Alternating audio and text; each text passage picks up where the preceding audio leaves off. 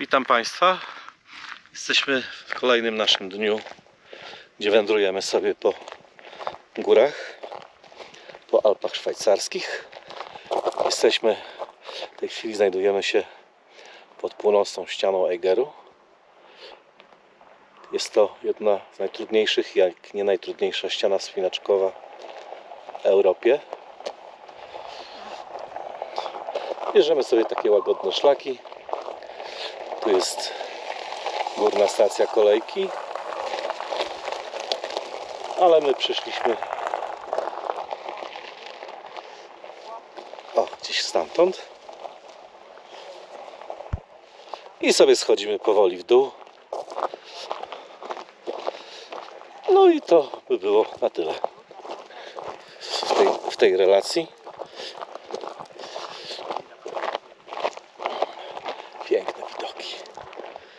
这片好的。